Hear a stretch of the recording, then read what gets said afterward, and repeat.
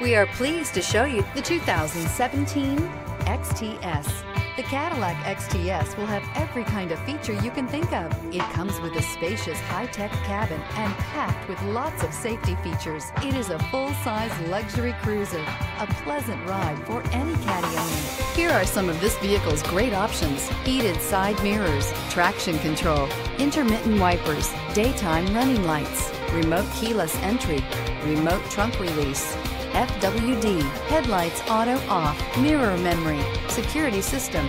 This vehicle offers reliability and good looks at a great price. So come in and take a test drive today.